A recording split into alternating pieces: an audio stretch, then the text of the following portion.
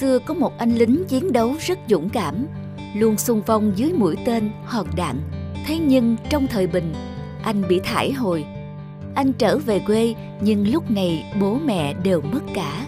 Anh đến xin ở nhờ nhà người anh họ nhưng họ lại nhẫn tâm xua đuổi. Ai, giờ thiên hạ thái bình, mình lại trở nên nghèo đói, không người thân thích, không nơi nương tựa. Ai đó? Ta là quỷ thần, ta muốn giúp ngươi. Quỷ thần, giúp ta? Phải, ta sẽ cho ngươi rất nhiều tiền, nhưng với một điều kiện. Ngươi phải chứng minh cho ta sự gan dạ của ngươi như thế nào. Tưởng gì, ông có việc thử thách tôi đi. Được rồi, vậy thì hãy hạ gục con gấu kia đi.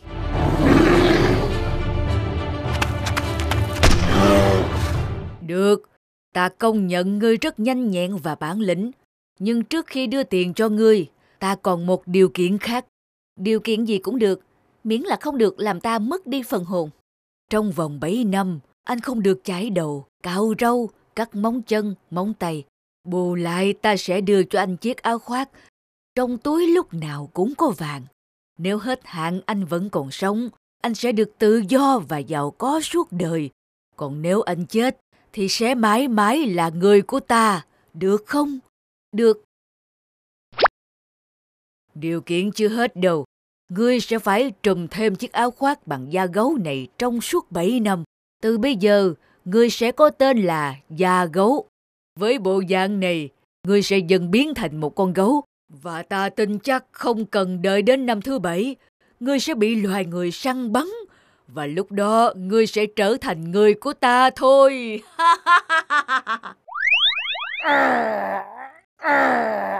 Đồ quỷ thần xảo quyệt, ta sẽ không để ngươi đạt được mục đích đâu.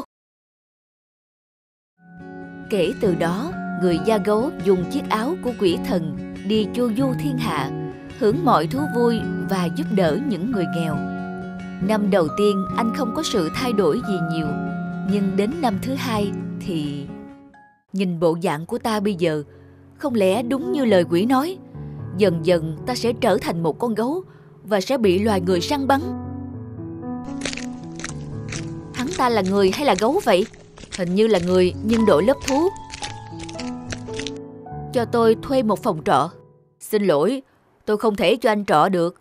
Bởi bộ dạng của anh sẽ khiến cho khách đến nhà tôi chạy đi hết. Anh yên tâm, căn phòng nào trống tôi sẽ thanh toán. Ờ, vậy à, tôi sẽ sắp xếp cho anh một buồng ở phía sau. Nhưng anh không được ló mặt ra ngoài, vào ban ngày đấy. Được rồi, anh yên tâm.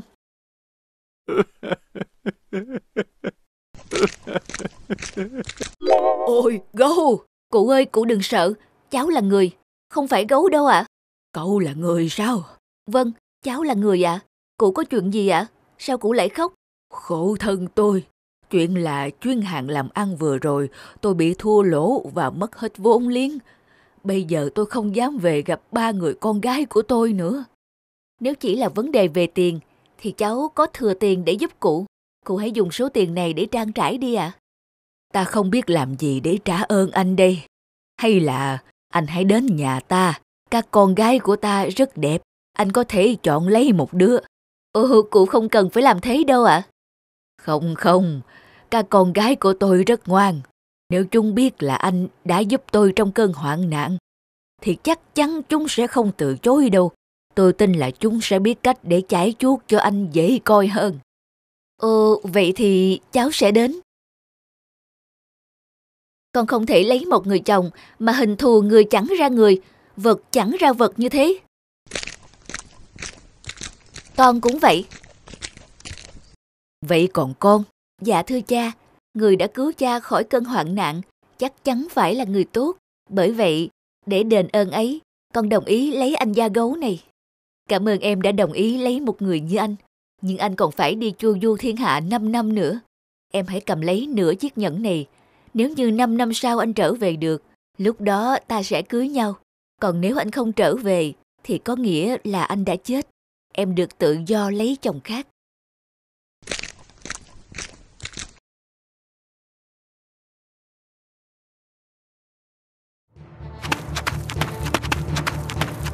Quỷ thần, hôm nay là ngày cuối cùng sau lời hẹn 7 năm và ta vẫn còn sống sót. Ngươi hãy thực hiện lời giao ước của mình đi. Không ngờ ngươi vẫn có thể sống sót sau 7 năm đội lốt da gấu. Được.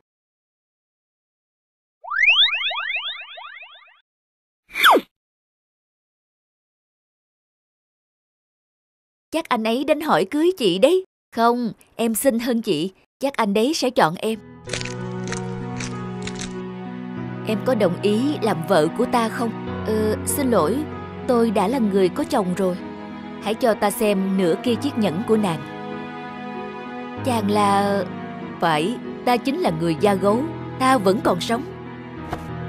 Kể từ đó, người da gấu và cô em út sống hạnh phúc bên nhau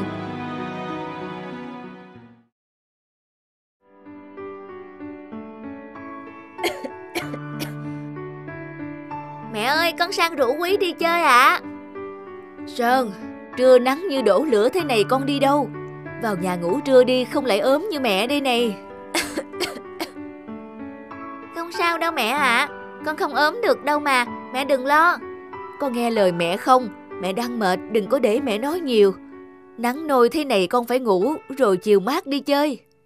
Con đi một lát thôi mẹ ơi. Con rủ quý qua đây chơi. Cành bên trái có một quả chín vàng ôm kìa. Đấy, đấy, chết qua bên trái một tí. Quả này chắc là ngọt liệm luôn. Này, đỡ lấy nhé. Rồi, cậu ném đi. Ôi, ôi, cái gì thế? Một con cò. Con cò ở đâu thế này? Mà quả xoài đâu rồi? Trời ơi, nát bét rồi. Nhưng mà sao con cò nó lại bay xuống đây? Nhìn nó thật là yếu ớt, hình như nó bị thương ở đâu rồi. Không có vết thương nào cả. Trông nó yếu ớt quá. Chắc con cò này nó vừa bị đuổi đánh nên nó mệt. Không quan tâm, chúng ta sắp có thịt cò ăn rồi.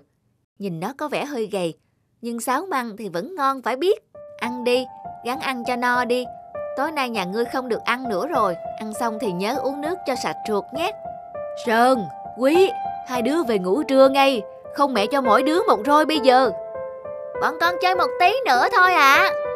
Không một tí nữa gì hết. Vào ngủ ngay cho mẹ.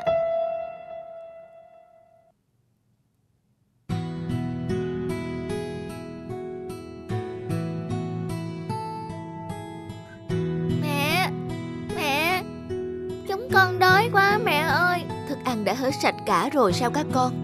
Hết sạch rồi mẹ ơi Mẹ ơi Chúng con đói lắm mình vẫn còn ốm quá.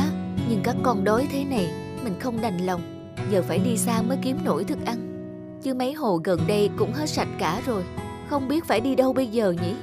Mẹ ơi, Mẹ, Chúng con đói lắm rồi. Các con ở nhà phải thật ngoan nhé. Lần này mẹ đi kiếm ăn ở xa, Nên có lẽ mẹ sẽ về hơi muộn. Mẹ Mẹ lấy thật nhiều thức ăn vào mẹ nhé. Mẹ sớm về mẹ nhé. Ừ ừ Mẹ nhớ rồi.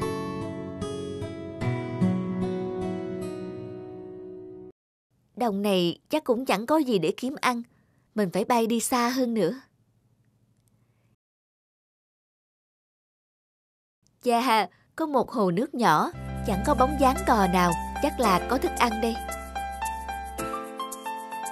Ôi dạ chào, nước mát quá, làm mình tỉnh cả người, phải nhanh nhanh kiếm thức ăn về cho các con thôi. Thật là may mắn quá, có cá cho đàn con rồi, một chú cá lớn chết rồi. Vậy là xong. Mình biết phải làm như thế nào bây giờ. Không lẽ để các con như vậy sao? Không được, Chúng sẽ chết mất. Trời nắng quá. Mình không chịu nổi nữa rồi.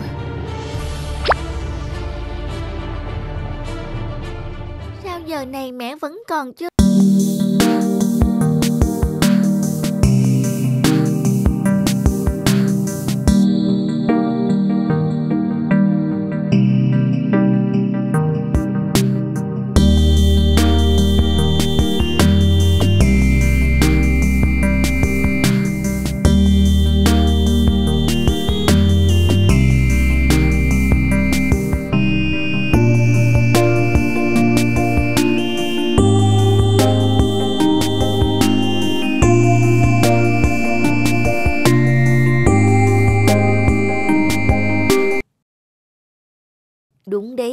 Các con phải thả nó ra để nó trở về với gia đình của nó chứ.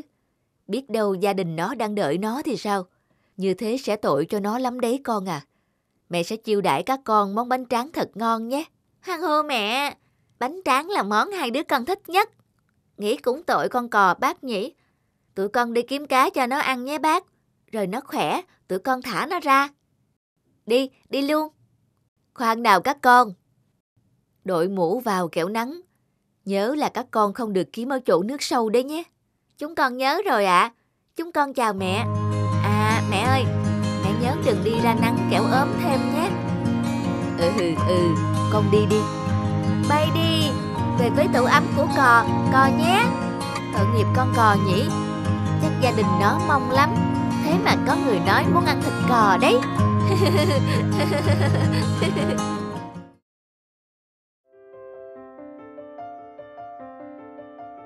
Ôi, tiết thu đẹp thế này. Người người đám cưới, nhà nhà đám cưới. Sáng giờ nhận tới hai cái thiệp mời nè. Đúng rồi, nhận thêm một thiệp mời lại thấy mình lẻ loi. Chả bù cho nàng ấy, bao nhiêu vệ tinh vây quanh. Lắm mối tối nằm không đây nè Ai biểu kêu kỳ quá cơ. Thấy chuyện với Hùng cây si sao rồi? Đúng rồi, hồi trước, chiều nào ông chẳng đổ bê tông dưới kia chờ bà. Thôi, nhắc làm gì, chia tay cả năm rồi. Mình thấy anh ấy si mê bà thế mà... Mà bà cũng vẫn lưu luyến anh ta đúng không? Từ đó giờ đâu thấy yêu ai nữa đâu. Ngày đó lỗi là do tôi. Mà thôi, không nói chuyện này nữa.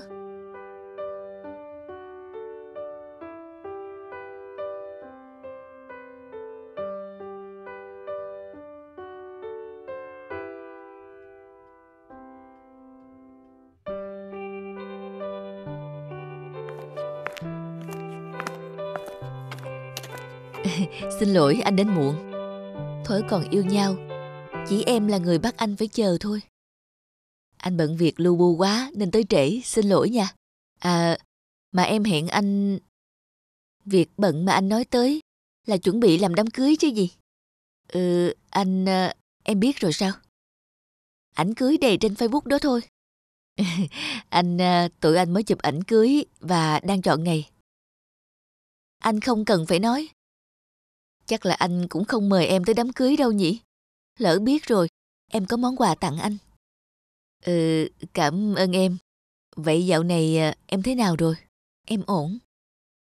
Vậy à, thế thì tốt rồi. Chừng nào có tin vui, nhớ báo anh nhé.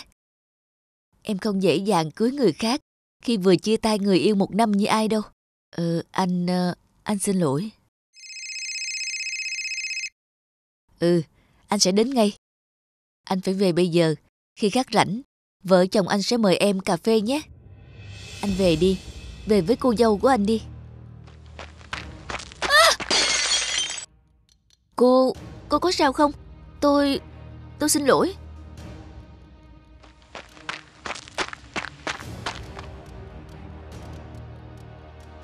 Chờ một chút, anh sẽ về bây giờ. Anh bỏ mặt em lại đây sao? Em tỉnh rồi à? Bác sĩ nói tình trạng của em đã ổn định. Anh đã báo cho ba mẹ em. Họ sẽ tới đây bây giờ.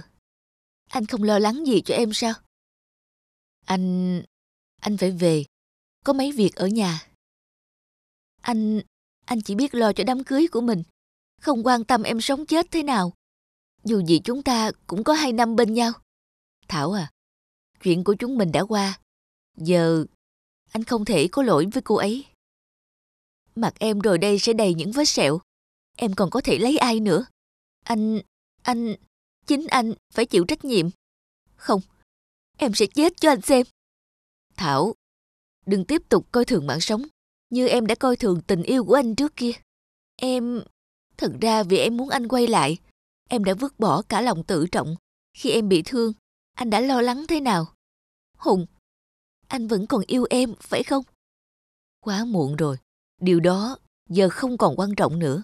Kể từ ngày... Thế là tao thắng cược rồi nhé.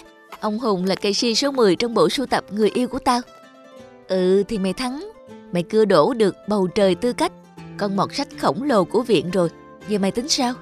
Đúng rồi. Si bám rễ rồi định nhổ lên hay trồng tiếp mày? Ờ thì à, cứ vui vẻ thêm mấy bữa nữa. Chừng nào tìm được cái cây to hơn, tao sẽ nhổ cái cây này đi. Giờ cứ dùng tạm đã.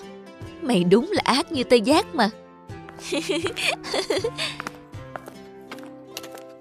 ừ, anh Hùng, anh Hùng. Em, đó không phải là sự thật. Chỉ là bông đùa với những người bạn. Tình yêu của em là sự thật. Hôm đó là kỷ niệm hai năm ngày chúng ta bên nhau. Anh đã định sẽ cầu hôn em. Nhưng sự bẩn cợt của em đã để chúng ta ra xa mãi. Em, em xin lỗi. Đối với anh, tình yêu không phải thứ để đem ra trân trổ hay đùa cợt. Anh đã rất đau lòng khi nghe những điều em nói. Khi nãy anh đã trao đổi với bác sĩ, chắc chắn mặt em sẽ không để lại sẹo. Thảo à, nhưng Trang thì không may mắn như em. Trang, vợ sắp cưới của anh, cô ấy làm sao? Anh gặp lại Trang, cô bạn cùng bàn trong buổi họp lớp cấp 3. Buồn bã vì chuyện chúng mình, anh đã uống tới say mềm. Nếu không có Trang... Hùng, tránh ra! Đã có những chuyện như vậy sao? Phải, giờ đôi chân của Trang bước đi khập khiễng, nhưng tâm hồn anh và cô ấy hoàn toàn hòa hợp. Hùng, em xin lỗi. Có những sai lầm không thể sửa chữa và tình yêu không phải trò đùa. Chuyện của chúng mình em sẽ giữ trong tim như một kỷ niệm đẹp. Chúc anh hạnh phúc.